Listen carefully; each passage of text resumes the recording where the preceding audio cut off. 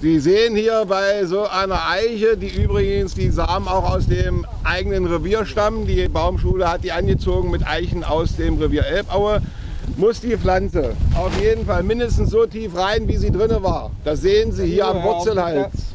Die muss also so tief rein. Und es darf, macht keinen Sinn, dass die Wurzel irgendwie versucht werden, so rein, dass sie gerade drin ist. Nein, wir müssen das Loch so tief ausheben, dass die Wurzeln auch in der Form, wie sie jetzt an dem kleinen Bäumchen dran sind, in die Erde kommen. Deswegen, äh, Wenn es so genau erklärt wird, ist das Pflanzen eines Bäumchens auf den ersten Blick kein Problem. Aber zur Sicherheit noch einmal. Erst wird mit dem Spaten ein Loch gegraben und das ist bei dem schweren Boden in der Elbaue bei Gerwisch dann doch ziemlich anstrengend. Dann wird der Setzling eingepasst, die Erde zurück in das Loch geschoben und dann sorgfältig angetreten, damit keine Hohlräume zurückbleiben und die Wurzeln Kontakt zur Erdfeuchte bekommen. Die Schutzgemeinschaft Deutscher Wald, sie ist seit 1947 die wahrscheinlich älteste Umweltorganisation im Land, hat hier auf dieser Fläche eine größere Baumpflanzaktion vorbereitet und sich prominente Unterstützung eingeladen. Denn hier arbeiten Sachsen-Anhalts Landtagspräsidentin Gabriele Brakebusch und die deutsche Waldkönigin Christiane Heinrichsvogel nicht das erste Mal Hand in Hand, denn beiden ist der Wald eine Herzensangelegenheit. Aber wir beide wissen schon, wie man Loch, Löcher buddelt, ne? Also wir haben schon, wir haben schon viele, viele Bäume gepflanzt. Genau. wir sind speziell. Das ist unsere Spezialität hier.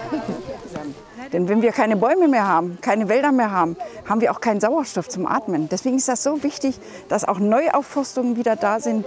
Und wenn sich die Bevölkerung mit daran beteiligt, auch unsere Kinder von den Waldfüchsen, ist das hervorragend. Ich bin, äh, mein Herz schlägt auf jeden Fall auch für den Wald und deswegen bin ich immer dabei, soweit ich kann. Zurzeit ist der Wald und eben nicht nur in Deutschland akut gefährdet. Die zurückliegenden Dürrejahre haben eine Vielzahl der Bäume geschädigt.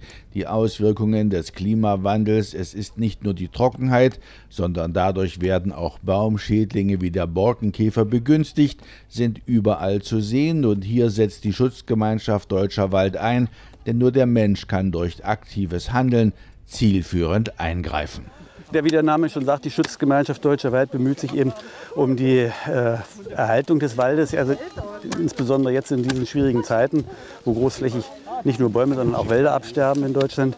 Wir unterstützen alle Projekte und wollen damit auch aufmerksam machen auf die Notwendigkeit und nutzen solche äh, Pflanzaktionen, wie wir sie hier haben, eben äh, in der Öffentlichkeit noch mehr Aufmerksamkeit dafür zu erreichen.